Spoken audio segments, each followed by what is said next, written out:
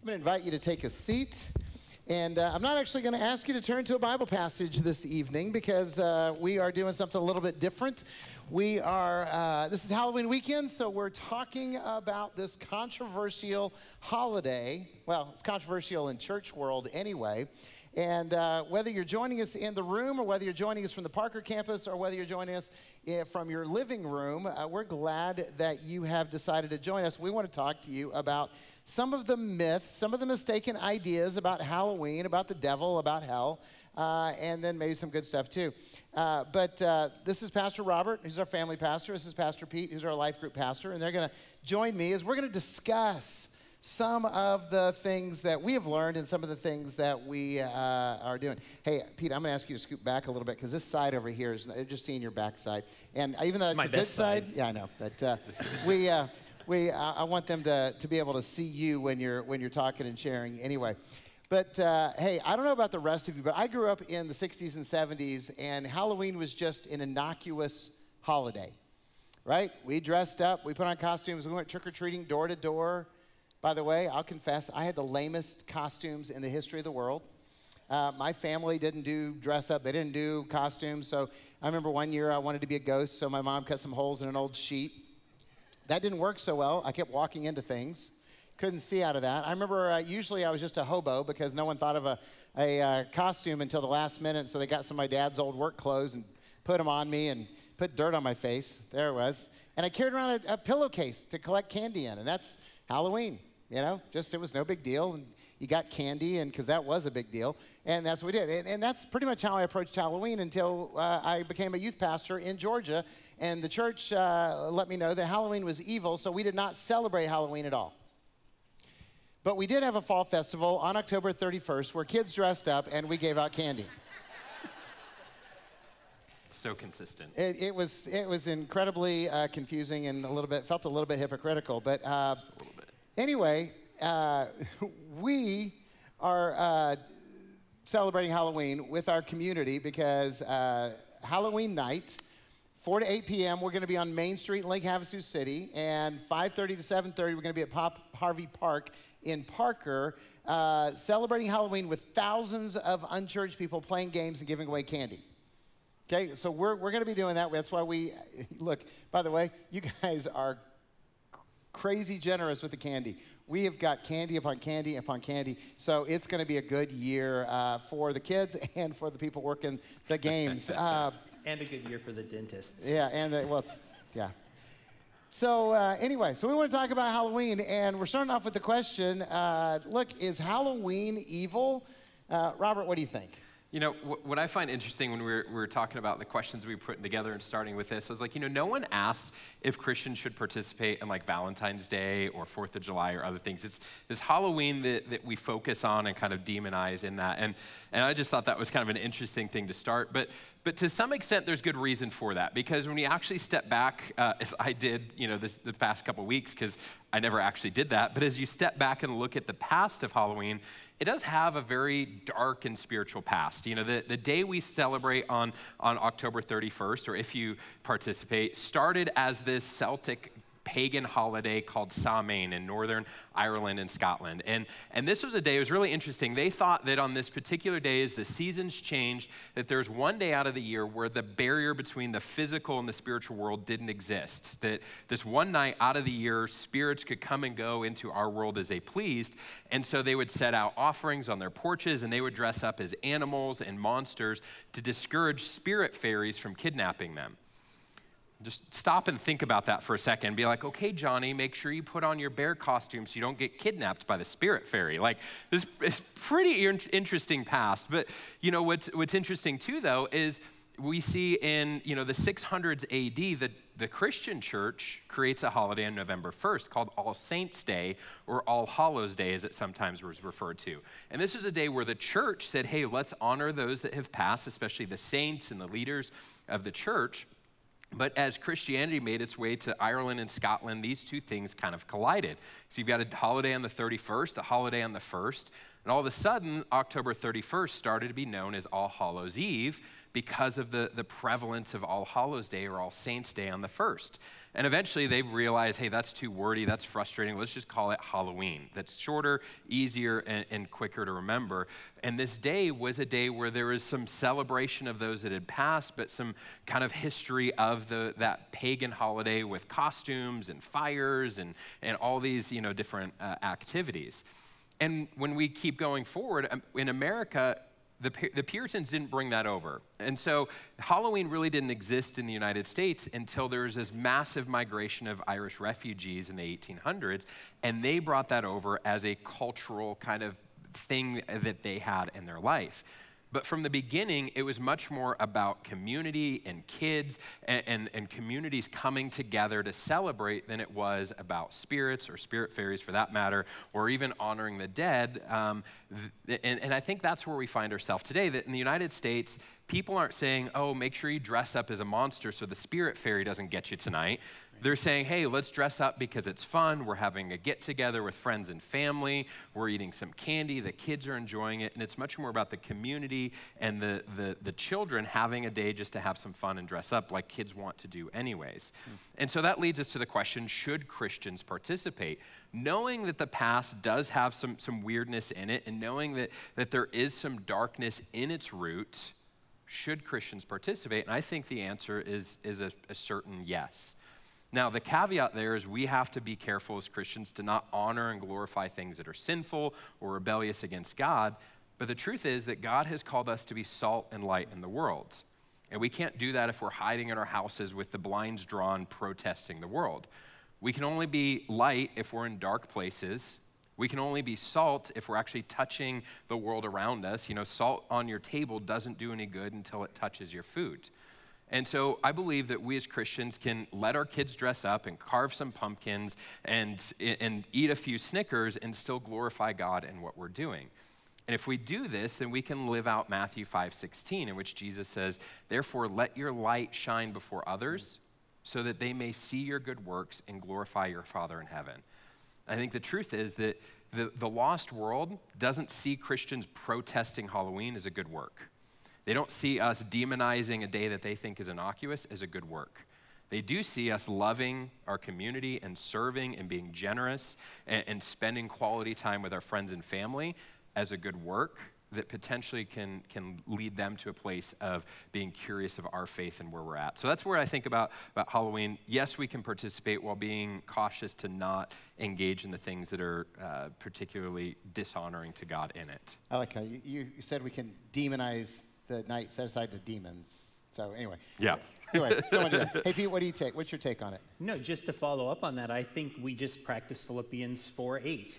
Whatever is true, noble, just, pure, lovely, of good report, praiseworthy, we want to think on those things. So we can be a light to our community, even if other people might view it as wicked or evil or celebrate something bad. We don't have to do that. We can be positive about it. We can think about what honors God. Okay. Hey, you know, to me, uh, the way we respond as Calvary, and, and by the way, we, we have a response as Calvary, and, and as leaders, we're pretty much in one accord of this. But um, if you have a different viewpoint, we're perfectly fine with that. We're just trying to explain how we approach it and why we approach it the way we do, because we've actually thought through this. But to me, it's a missional engagement with our community. Uh, you know, Calvary exists to lead people to a life changing relationship with Jesus. And uh, honestly, it, it's not just Halloween that uh, has evil roots in our culture. Pretty much our, everything our culture does is evil. I don't know if you guys Especially think about in Havasu. That. Well, I don't just mean, well, Havasu, yeah, you know, uh, but look, there's not a lot of things that the people who are unchurched, who are ungodly, are, are thinking about, hey, is this going to honor God? And, and, they can engage in business in evil ways. They can engage in any kind of celebration, not just Halloween in evil ways. Uh, they can uh, look. They can get married and, and make it evil. It, it, there's all kinds of evil in our world, which is why people need Jesus. And their only hope is Jesus. And uh, as Robert said, you, we can either lock ourselves away and, and pray against the darkness, or we can go out and live as missionaries in the midst of the craziness And there's different ways you can do that. I mean, uh, we, I've been on Main Street now for you know over a decade, where probably 15 years, where we've been doing this, uh, serving the community. I've seen Christians, you know, carrying crosses up and down the street, kind of being anti-Halloween in the midst of them. Uh, there have been times people were preaching at them with megaphones, uh, and we're up there just, you know, loving their kids, giving them lots and lots of sugar, having them, letting them play some games, not charging them for bounce houses, uh, not charging them for water. And we just do that to represent Jesus. And you know, we've had people come to Calvary because they encountered us on Main Street and said, I think I could go to a church like that. And so we've had people meet Jesus because we went ahead and mixed with our community. And, and by the way, if you're afraid of going down to Main Street because it's too ungodly, Calvary Candyland is a pretty happy place. And it's a pretty joyful place, and there's a lot of people who love Jesus, and everybody's wearing Calvary shirts, so And we have not, enough candy to line the streets with candy. That's right. We won't because we'll uh, get crushed, but we uh, could. It'd melt anyway. 'cause It's supposed to be warm tomorrow. But uh, anyway, so that's kind of our uh, our approach of of doing this because it's it- you know, look, churches believe it's celebration of the devil. That's fine. If you believe it's a celebration of the devil, that's fine. We're going to honor Jesus every single day of the year, and which means. Uh, on Halloween, we're going to be handing out candy to people and loving on people in Havasu and Parker and any place else that we have a presence. So, we're talking about Halloween, and, and again, there's a lot of churches that think this is a celebration of Satan, so we shouldn't do anything with it. So, that begs the question who is Satan? Is Satan real? Is he, you know, how does, how does he come into play in this? And so, I'm going to keep talking since I'm probably the one who's most in touch with my evil side. Uh, look, Scripture tells us that Satan was created as an angel and he decided he wanted to be God. He wanted to rebel against God, and so he was cast out of heaven, and he was dest- is destined for hell. Uh, and some people want to go, well, yeah, but you know, all that spiritual stuff in the Bible isn't that kind of like, you know, just how they understood it and we don't really we're too smart now for spiritual stuff like that and it's just mental illness it's not demon possession and everything. Um, so is satan real and personable? Is evil real and personable? And and so i just want to start there by reminding you that we're a church where we believe the bible is the inerrant inspired word of god that tells us what to believe and how to live. And the bible tells us that satan is real. And here's just two occurrences that I'm going to point to. If you're a follower of Jesus, I think this, this makes sense. Uh, one is Jesus talked to Satan, like had a conversation with Satan.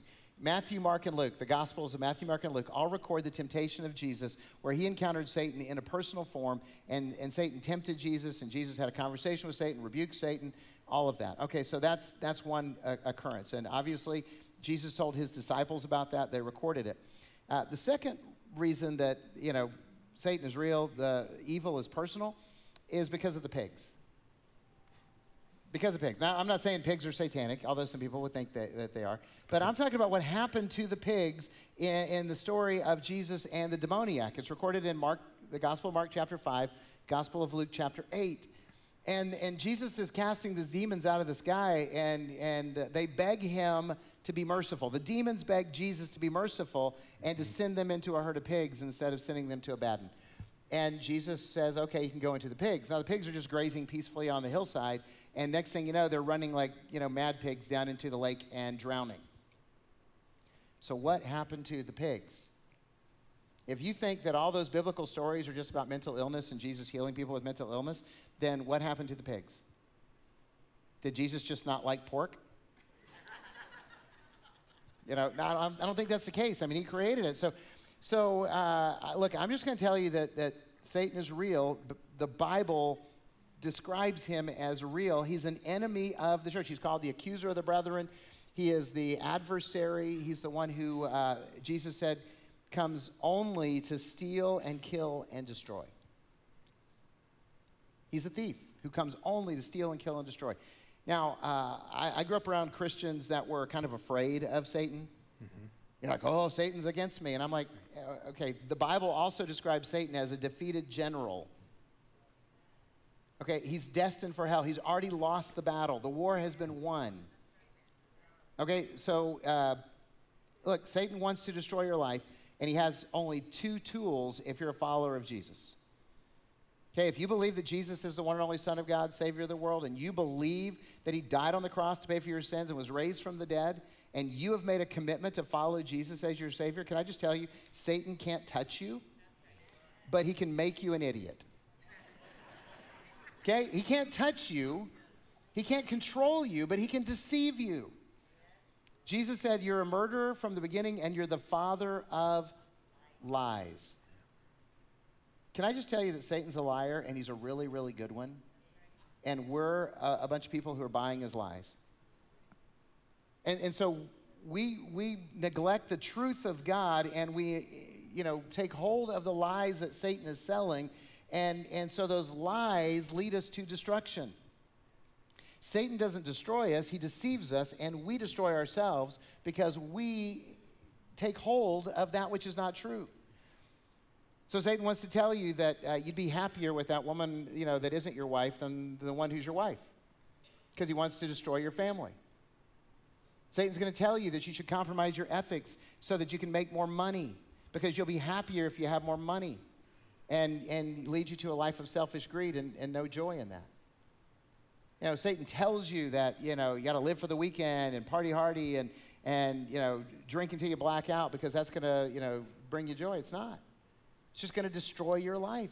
The thief comes only to steal and kill and destroy. And if you, and here's the thing, we all know that, but we don't know the truth well enough to know the lies. Here, here's what Jesus said in John chapter 8, verses 31 and 32. You should look it up. If you remain in my word, if you remain in my word, you are truly my disciples, and you will know the truth. You guys know the rest of this, don't you? And the truth will do what? The truth will set you free. But you have to know the truth for the truth to set you free. And, and, so many times we're like, yeah, the truth will set us free if only I knew it. By the way, that's why we get Bibles away. If you're sitting in the room here at Sweetwater and you don't have a Bible, take one of those. It's a gift to you. If you're in Parker, there's Bibles sitting on the table in the middle uh, of the room in the back. You just take one of those if you want it, but just do me a favor and read it. Because if you read and apply God's word, then God will change your life. Now, uh, so that, that's what uh, the, other, the other power that Satan has over us, by the way, is not just lies, but fear. He wants to make you afraid. Because if you're afraid, you won't do anything. You won't do anything for Jesus. You won't do anything for freedom. You'll just be stuck in fear. Man, has he been on a rampage these last 18 months, hasn't he? Yes. I mean, there are people who are so afraid, and, and God doesn't want you to be afraid. You know, the only person we're told to be afraid of is God. And if you're afraid of God, then you understand that He loves you and He's for you and you're going to do what He says. The truth will set you free. Now, I'm just talking a whole lot, uh, but I want to remind you the devil can't control you, but he can influence you, he can harass you, he can tempt you. And Pete, what else can he do? Well, one of the lies that we believe is that he's equal to God right? We think of the cartoons, and you know, Satan's on one side encouraging us to do bad, God's on the other side encouraging us to be good. Or whenever something bad happens in our life, we blame Satan, and then when something good happens, we give God credit. And I think that's a lie because we are equating Satan and God. We're making their powers equal. And the Bible teaches that God is all powerful, God is all knowing, mm. um, God is sovereign, and God is everywhere. Satan is none of those things. So Satan is limited by God. You know, his power is very limited by God. And then, you know, you brought up the temptation of Jesus and the Word of God. That's how Jesus defeats Satan, yeah. is with the Word of God. So Satan is limited by God's power and limited by God's Word. Yeah. Well, if the devil is real, that begs the next question Is hell real? Is hell real? And if so, what is it like? So, Again, we're a church that believes the Bible, uh, and the New Testament references hell. Oh, wait, I should have you guys like write down a number. Like, how many times do you think the New Testament, just the New Testament, references hell? All right, lean over and tell the person next to you. Pick a number. Come on, loser buys dinner. So no one's no one wants to pick a number. Okay, 162 times. Anybody get that? 162 times the New Testament references hell. Okay, out of those 162 times, how many times do you think Jesus referenced hell. Now you can pick another one, write it down again. It's 70 times, okay? 70 times Jesus refers to hell. I mean, he talks about in the Sermon on the Mount. There's two paths. The, the way is broad and the path is easy that leads to destruction, but the path is narrow that leads to life, and few find it. Uh, he talks about it in Matthew 10 when he says, Don't fear the one who can kill just the body, but rather fear the one who has the power to cast both body and soul into hell. He talks about it in Matthew 25, the parable of the sheep and the goats, where he says, Depart from me, you accursed ones, into the eternal fire prepared for the devil and his angels. And of course, Revelations 20. Uh, the devil is cast into the lake of fire, and by the way, everyone whose name is not found in the book of life is cast into the lake of fire. Uh, so, Robert, talk to us about some of the myths of hell. Yeah, uh, there's two myths that I've heard a lot uh, from people of all ages, you know, in ministry. The first myth is that those that go to hell just cease to exist. And this is an nihilist view of hell that people that, that don't go to heaven, they go to hell, but that that's kind of the end, that there's not this, this long standing eternal existence there, that it's just kind of poof, the end for them. And it makes a lot of sense when we step back and look at, okay, why do people, why, why have we fabricated this myth?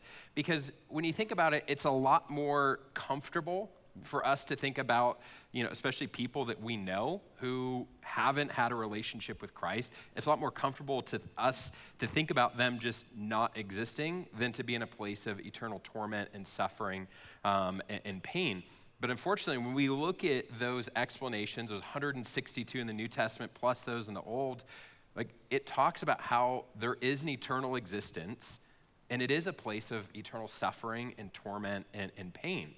And so we can't just say, well, you have eternal afterlife with heaven, but if, the, if hell is the destination, it's just kind of poof, the end, um, because it's not actually kind and loving because we don't allow people to fully understand the gravity of their spiritual decisions. And the second myth that, that I've heard so much is that, that hell is some sort of like party for those not good enough to get to heaven.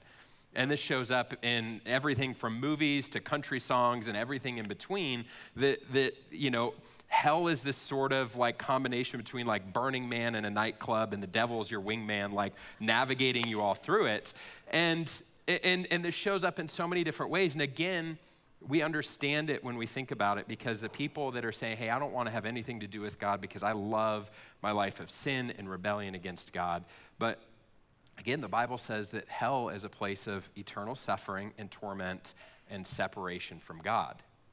And that last part's really important because James 1:17 says that, that God is the giver of all good and perfect things in our life.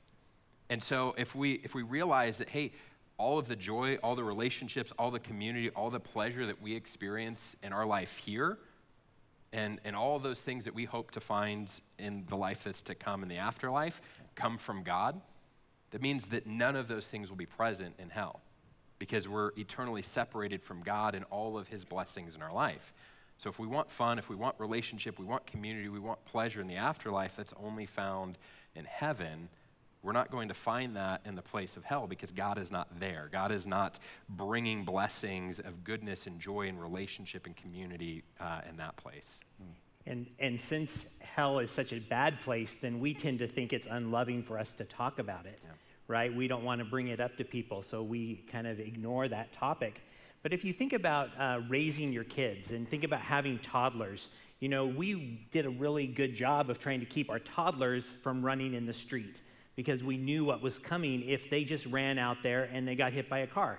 That would be the worst thing for a parent to experience, a terrible thing for a toddler to experience. And so mm. We talk to our kids about the danger. We warn them, and sometimes we even scare them with that.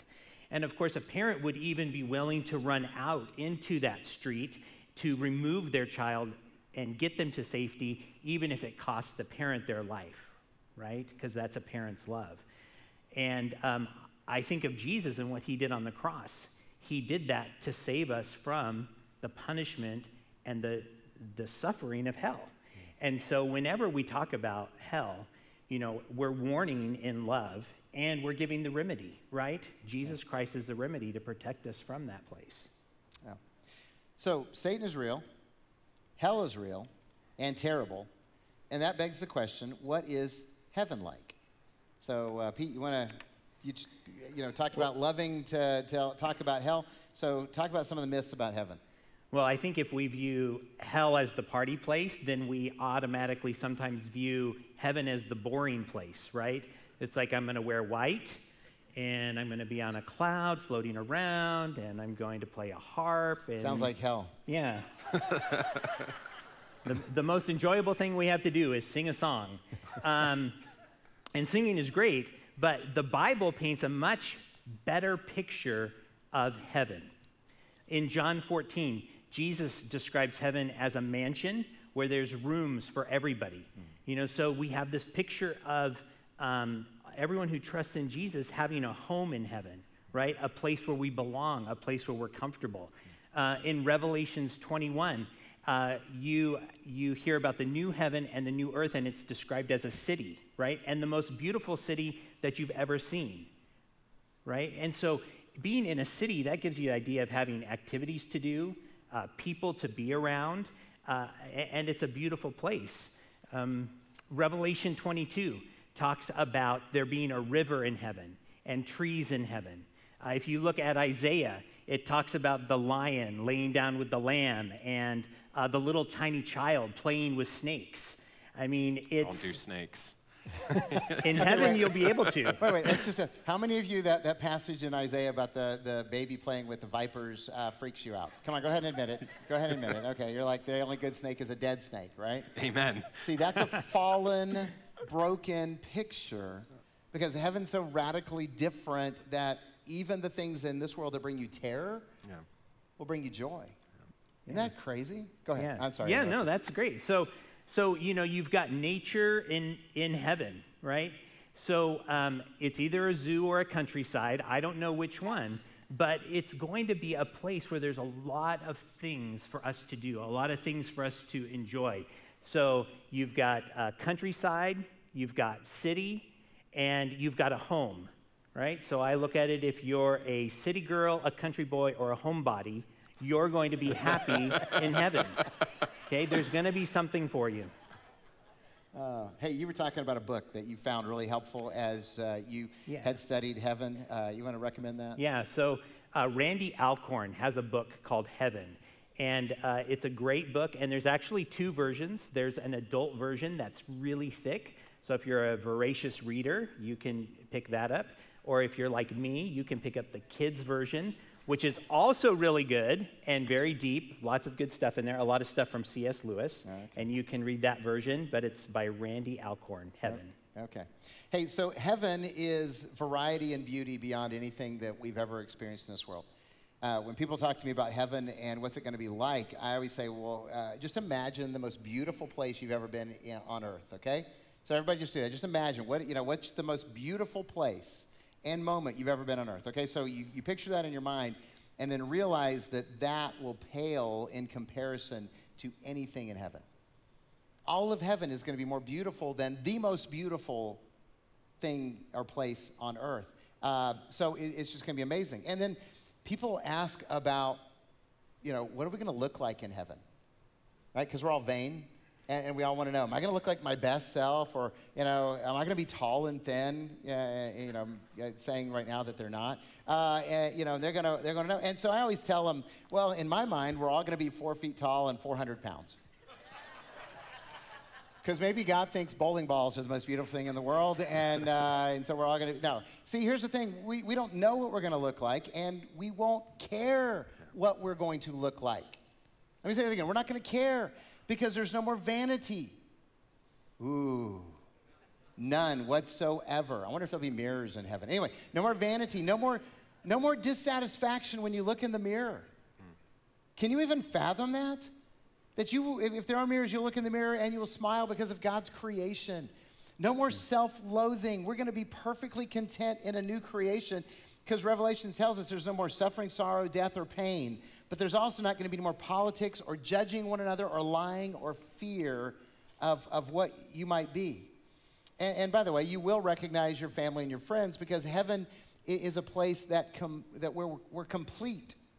That's what it means perfect. When you read perfect in Scripture, it means that we're complete, whole, everything that God intended us to be, which is more than we are right now. So we're gonna we're gonna kind of go up a step for what we were intended to be, not what we are. That's, that's part of that redemption. And you're going to know your friends, you're going to know your family. And that's going to be great. And, and I, I just want to point this out. This is in contrast to uh, the eternity of other world religions. So Muslims, you know, their, their idea of heaven is sort of like a, a frat boys party place. Uh, Hindus and Buddhists, you just kind of get absorbed into the cosmic jello and you cease to have personhood. See, Jesus' view of eternal life elevates you, but also finds you in that perfect place in the presence of God. And Robert, I know you wanted to talk about that whole relationship. Well, before that, I think you just skimmed over a little too quickly. There's no politics in heaven, and that, Oh. that makes it a lot more enticing, I think, for all of us now. But All the politics will be in hell. Uh, Amen. but, um,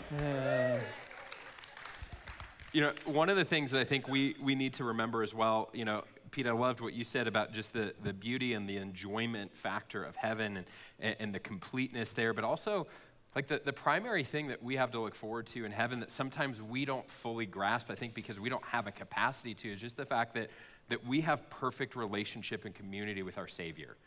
That whatever purpose and satisfaction and joy we find in following Jesus here pales in comparison to the, the satisfaction and joy we find or we will find in heaven in that place. And, and Pete referenced several uh, aspects of Revelation 21. The beginning of that chapter says, The dwelling place of God is with man. He will dwell with them, and they will be his people, and God himself will be with them that, that we will find just an incredible amount of joy and satisfaction and meaning by being able to, to be in the actual presence of God. And I think that that will be so overwhelming that the other stuff really won't matter. What we look like or what activities will be there, like that will all be great. But the, the real reality that we have to look forward to is the perfect connection with God that we've never been able to experience here because we've only seen God through our broken, sinful life and, and way of being here. Well, we, uh, we hope and pray that this has been helpful in terms of giving you a, a little bit of information about Halloween, about Satan, about hell, and about heaven.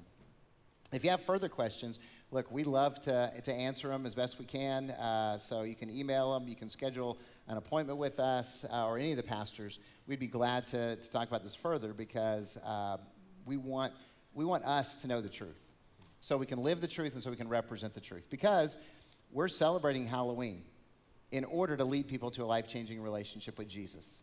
Even though the devil is real, even though hell is real, but hey, hell is real, but we know we're not going there, and we don't want anyone else to go there either. Right.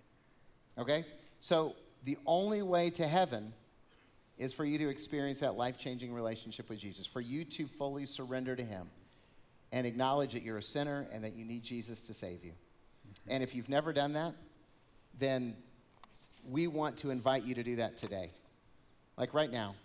Just simply say, Jesus, I need you, and I want you to change my life.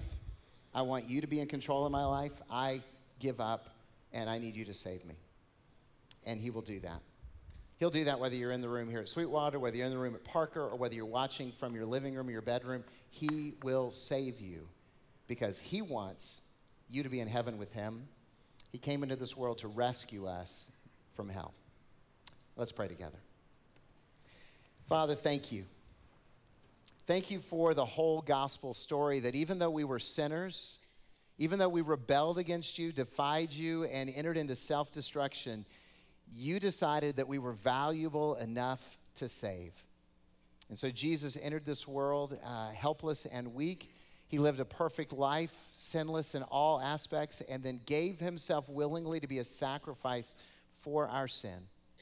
Father, we want to live for you.